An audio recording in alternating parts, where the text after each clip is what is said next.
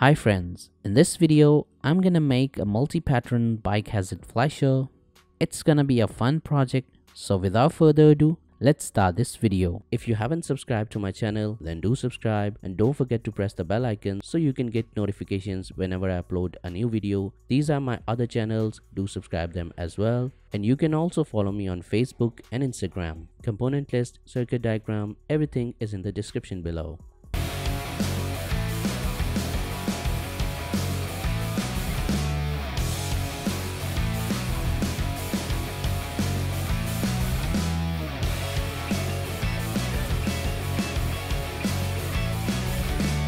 So these are all the components we're gonna need for this project.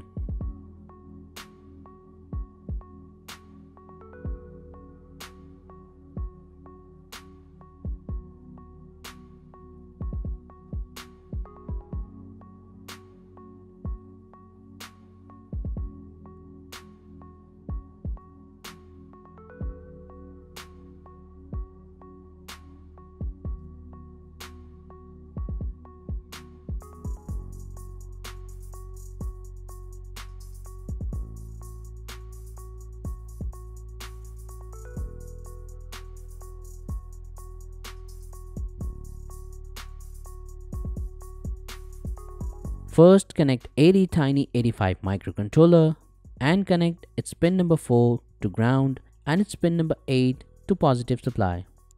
After that, connect a 10k resistor and connect its one pin to pin number 1 of the microcontroller and its other pin to pin number 8 of the microcontroller. After that, connect a 3 pin terminal block and connect its center pin to ground. After that, connect a 1k resistor and connect its one pin to one side pin of 3 pin terminal block and its other pin to pin number 5 of the microcontroller. After that, connect a 2 pin terminal block. After that, connect a 1k resistor and connect its one pin to one side pin of 2 pin terminal block and its other pin to pin 6 of the microcontroller. After that, connect a 1k resistor and connect its one pin to remaining pin of 2 pin terminal block and its other pin to pin 7 of the microcontroller. After that, connect a 7805 regulator and connect its pin number 1 to remaining pin of 3 pin terminal block, its pin number 2 to ground and its pin number 3 to pin number 8 of the microcontroller. After that, connect a 47 microfarad capacitor and connect its positive pin to pin number 1 of the regulator and its negative pin to ground. After that, connect a 0.1 microfarad capacitor and connect its one pin to pin number 1 of the regulator and its other pin to ground. After that, connect a 10 microfarad capacitor and connect its positive pin to pin number 3 of the regulator and its negative pin to ground.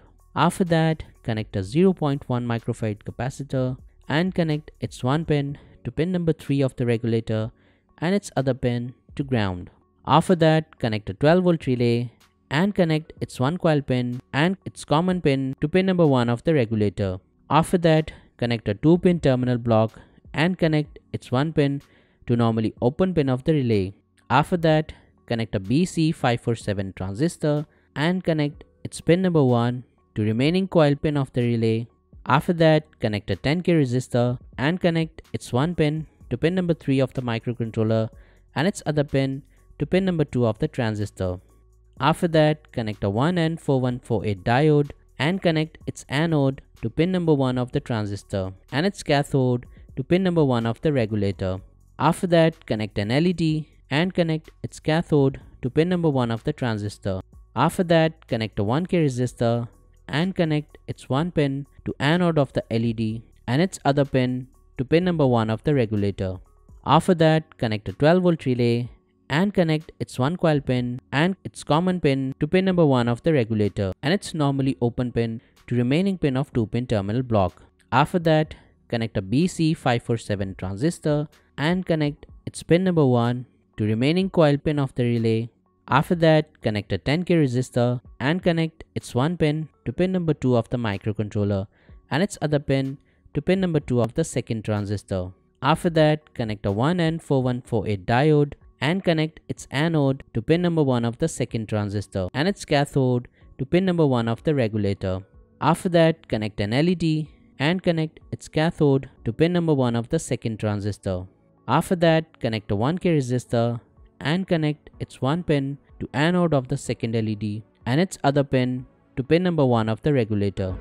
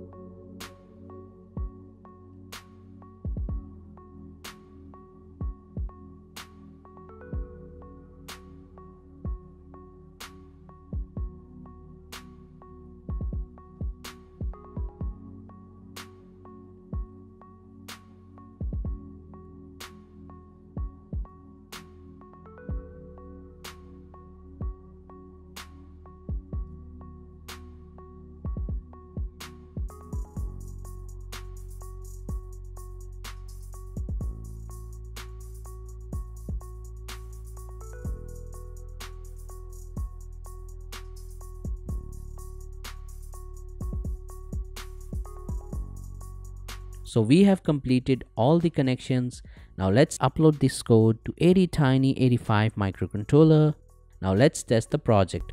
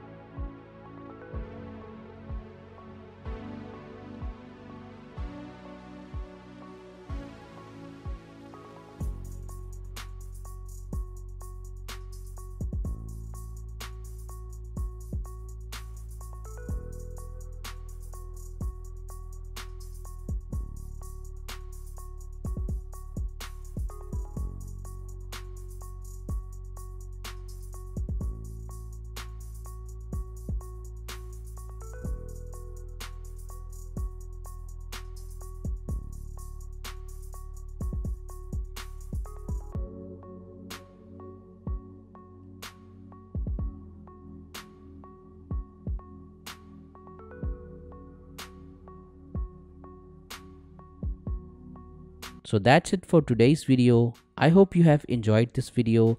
For more videos like that, stay tuned and I will see you in the next video.